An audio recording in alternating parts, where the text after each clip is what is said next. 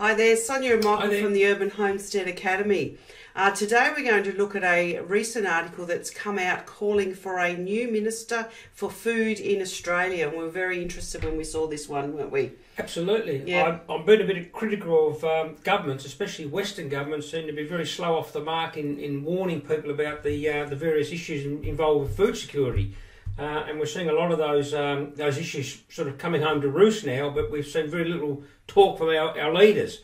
So I was quite excited to see this. Um, well, it's more of a it's more of a think tank article. tank, isn't it? yeah. it's, it's more of a wish list of perhaps some of the things we need to do. But It's it, a recommendation. it's a recommendation. So uh, it's but it was good to see the article. We just want to have a bit of a look at it today. Yeah, yeah. So Uh, this is a yeah. um, article that's been put out by the University of Melbourne, uh, and the authors are Dr. Rachel Carey and Dr. Maureen Murphy. Um, and take it away. Yeah.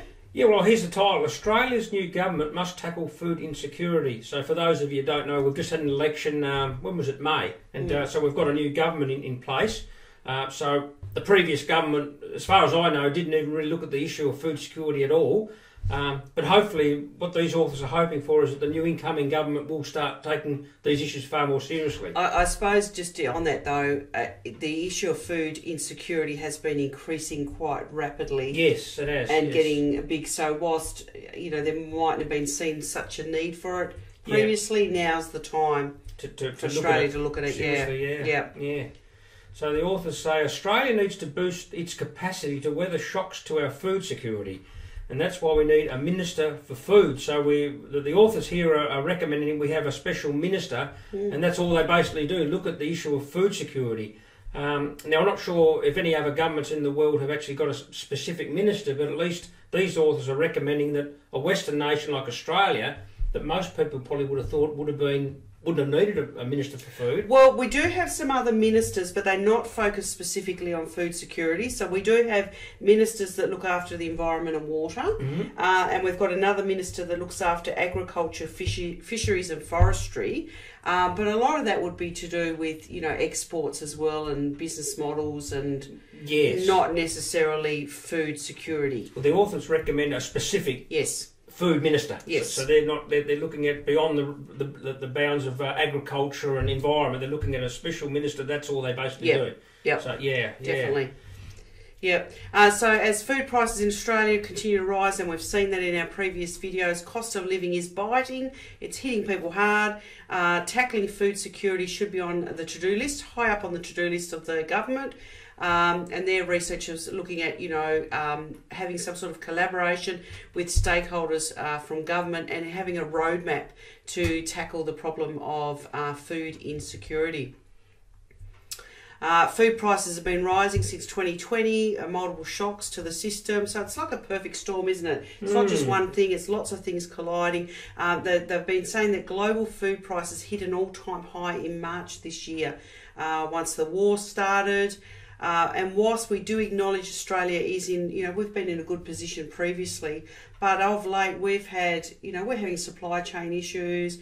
Uh, we've got farmers that have had, you know, uh, climate variability, lost a lot of their, uh, you know, produce and growing capability, uh, and now we've had to increase some of our food imports as well.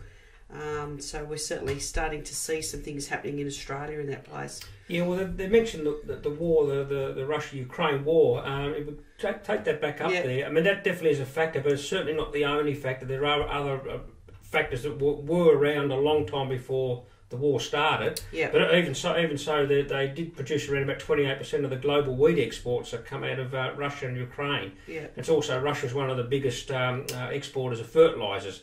So it, it does have an impact, but it's certainly not the only reason why we should be looking at food security on Yeah. a longer on a long term basis. Yeah, and they are saying that a lot of our fresh food we do produce domestically, definitely, um, and we're not in as dire a situation as maybe some other countries that are relying heavily on uh, imports. I mean, we looked at Sri Lanka the other day, didn't we? That um, used to be a self-sufficient.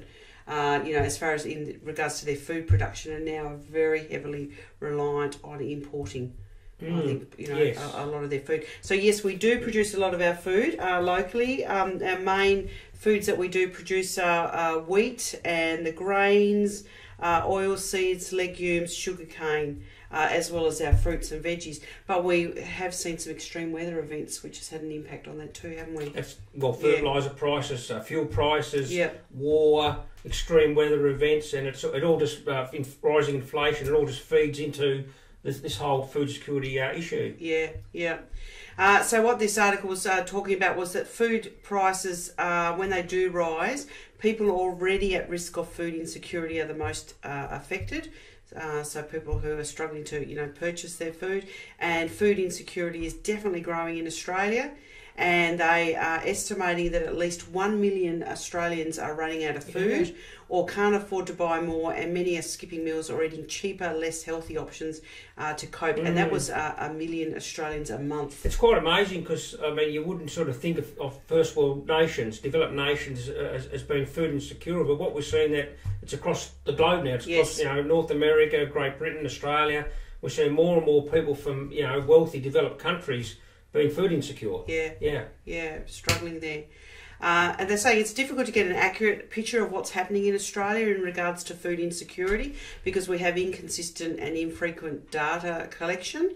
Um, around four to fifth. Sorry, four to fourteen percent of Australians are thought to experience some degree of food insecurity, but they think the estimates could estimates could be considerably higher. And how they do measure that is by demand for emergency food relief.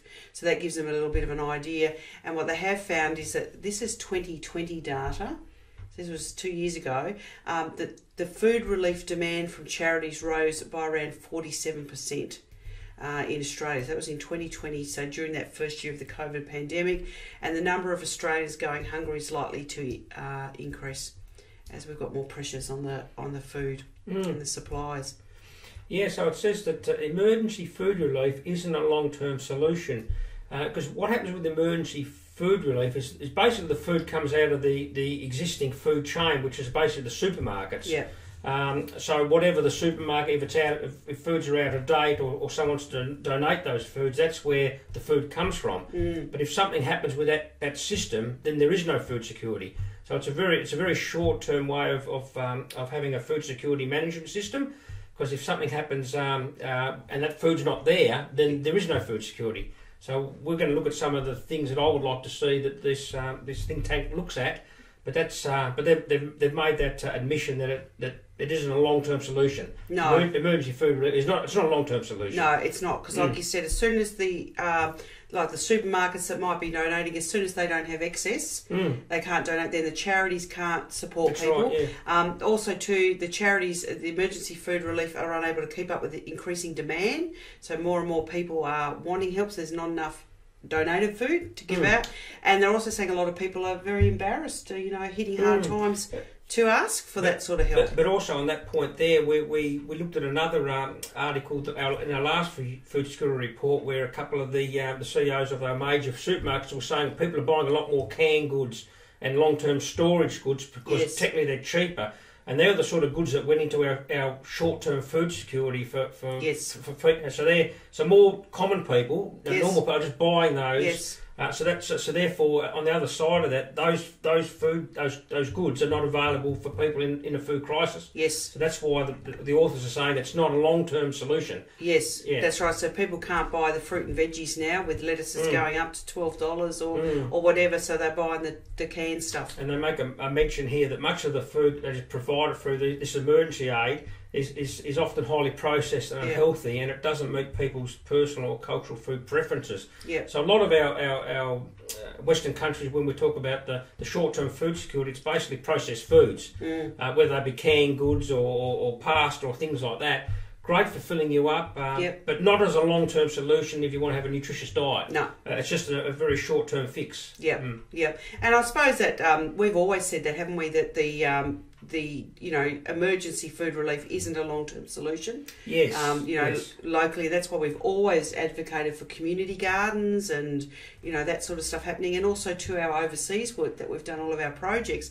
Um, yeah, it's great to help people out with bags of rice and food Yeah. in some of the overseas countries short term, but our our passion's always been about helping people set up their food gardens. Absolutely. That's, Yeah. that's if you're going to have a long term strategy, like a like a medium to long term to generational strategy, has to be has to be based at a local level. Has to be based on growing our own food. Yeah. It's the only way you can do it. Yeah, but look, it's great that we've got these charities that are absolutely. helping out. And but- they- and but these- they're under the pump now too. Mm. They're under the pump as And the, far as the yeah. authors are, have acknowledged that it's not a long-term solution. Our current our food security strategy. Yeah, definitely. Mm. Uh, so the authors of this are, you know, obviously looking at having the government having a whole of government approach uh, to increase the resilience of our Australian food systems to shocks and stresses, and planning for uh, resilient food systems. So there's some strategies that they've put forward there. Um, one of them is to increase the minimum wage uh, for the lowest paid, and that's actually happened recently in Australia. So that's great news that the uh, minimum wage is actually has increased. Um, and also, too, they talk about a plan that includes all relevant government departments, so health department, the environment, agriculture, and trade, with a focus on promoting a food system that's healthy, uh, that's sustainable, that is equitable, everyone can access it, and that it's resilient and factored in, you know, with uh, you know all the shocks that are happening, um, and looking at a farm to fork uh, resilient process. So they're saying there is no better place to start a new minister for food in Australia. Absolutely. Well, uh, we've got to give them 10 out of 10 for the idea. I think any any forward momentum in, in, in the area of food security has to be a good thing. Yep. Um, but I did make a couple of notes that if, if I had a bit of a wish list of what I'd like to see this food food minister tackle, Mm. these are some of the points I would say that uh, obviously we want to, uh, local food systems, lo- local food production systems. That would be one of the first things. Not not a global um, a global, global dominant food uh, security system where we're relying on other countries. I think sovereign There's nations. too many pieces in the chain, isn't it? If something goes wrong. if we rely on uh, uh, nation A for for providing this this type of food, if something goes wrong with the supply chain system, Yep. then we're out of out of that food again. Yes. So, so Yep. I- I'd like to see local food production, uh, not not not an emphasis on global food production. I'd like to see an emphasis on seed sovereignty, Yeah. and I've often said that agriculture is the, is the foundation of civilizations, but but the seed itself is the foundation of life itself. So without the seeds and without local seed sovereignty, we shouldn't even really be talking about about um, uh, food security. I don't think. That is actually a good point because there's a lot of big global seed banks, isn't there? Where's that? Um, where's that large seed bank? Yes, well, the, the, the, there is the, the in uh, in the Arctic Circle off Norway. That's, Yes. that's, and it's actually called the Doomsday Vaults.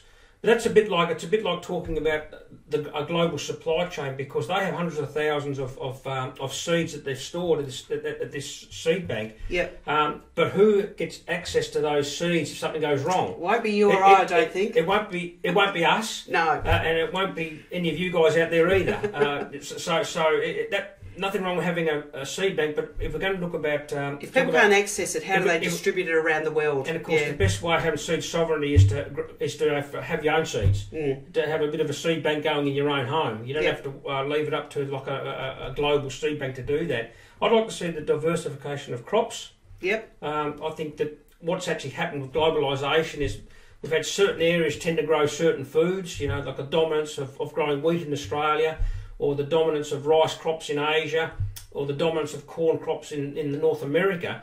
I'd like to see a, diversica- a diversification of that where uh, existing uh, existing people that are growing food are growing a lot more varieties Yeah. of food Yep. uh, breeding programs for specialist crops. Um, we actually have a, a, a, a farmer down here that's actually breeding rice varieties in Tasmania. Mm. Now, Mm. now, for those of you who don't know, Tasmania is the southernmost state off the Australian mainland, Yeah. and we're at a, at a latitude of 42 degrees here. And this particular guy, uh, it's unheard of to grow rice in this latitude, but he's actually growing specific, breeding specific Mm. varieties Mm. of rice, dryland rice, that will grow in Tasmania. So I'd like to see like uh, some breeding programs. Yeah. Uh, seed banks. I'd like to see school programs. I think when we talk about food security, if we're not actually uh, if we're not actually um, teaching the next generation of, of, of people how to grow food, Mm. then who's going to grow the food? Yes. It's not going to work. So, so I think I'd like to. Farmers are an, an aging in you know industry, so very the so. average age of our farmers is you know It's- quite up there. I think is is it fifty eight or fifty nine? Yes, it's up, is the- pushing sixty now. Yeah. The global age of a farmer. Yes. It- it's it's it's a dying industry as far as because it's gone very te- technological. yeah. Um, yeah, so so there's a real need to actually teach our children how to grow food. Yes. Um, storage systems is another thing I'd like to see a bit of um, a talk about. Um, generally speaking, most nations might have a month or two of grain supplies, Mm. I'd like to see that sort of um, pushed out to at least a, a uh, at least a year. Mm. Of, of- and I'd like to see the, the, the storage systems be at a state level rather than a national level, uh, and the sum total of having each state uh, ha- having um, a store of food is that it, it creates a national Yes. uh, food bank. Yeah. Uh, and also sustainability. I think it's really good when we talk about growing seeds and to have sustainable practice, like try and get more organic food production. We're trialing a lot of that. at try the a lot of organic food production. Yeah. um, and uh, with good success, I'll add. Yes. and with good success. Yes. Um, uh, uh, heritage type of crops Yeah. that don't need as much fertiliser. So you take a lot of those stresses out of the system. Mm. So um, we haven't really seen in detail what what the, the, food minister is going to look no, at. No, but we're gonna we're gonna follow that to see whether anything comes of so, that. So this that was that was my wish list of perhaps things that I would like to see the food minister, food security minister have a look at. yes, Um, and, definitely. and it's also important to note that, that some of these some of my ideas could be on a national level, but you can you can adapt all these ideas at a personal scale too, can't you? yes. I mean, you can you can save your own seed, you can grow food organically, um, you, you can be part of a school system where you're teaching kids. So all these things can be done at a national level, but also at a very very community based level. Yeah, definitely. Mm. So yeah, look, watch this space. We'll keep an eye out, see what happens with this. If we do end up with a minister for food, uh, what that role might entail, what those focus areas are. Um, but regardless of whether Australia gets one or not, I suppose here at the Urban Homestead Academy, Mm. you're a minister for food, Absolutely. and yes. I'm a minister for food. I, And we all should be our own ministers for food. I think that, we are. that would be a great idea. we've given ourselves that title because we Yep. actually quite like it. We like it. It's great. We're the, the ministers for food in our own homestead. in our own homestead. Yeah. Yes, so Anyway, so we're going to uh, keep growing and we'll keep putting videos up so you can see what food we're growing and um, absolutely, yeah. and and we're you know working towards all of those points that you Yep. actually mentioned there anyway. Yep, yep. And Yeah. be encouraged. There are solutions. There are solutions happening now. So we just sort of sign off now and wishing you a, a great day. And uh, hopefully we'll catch up with you at our next food security report. Yep, we'll Okay. do. Okay, bye for now. Bye for now. Happy gardening.